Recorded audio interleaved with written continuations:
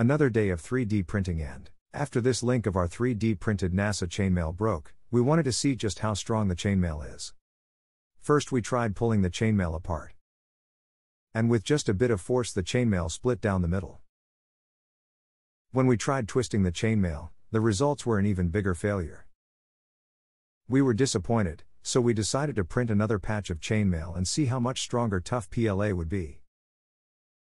The tough PLA chainmail peeled from the print bed easily and was noticeably shinier than the basic PLA. Already it feels stronger than the last chainmail we printed, but let's test it out. This chainmail is withstanding much more force than the previous patch. Tough PLA chainmail succeeds in the pulling test, but will it survive tearing? Even the tough PLA cannot withstand tearing, but the point of failure is different this time. Let's give this chainmail one more test to see how tough the PLA really is. Tough enough.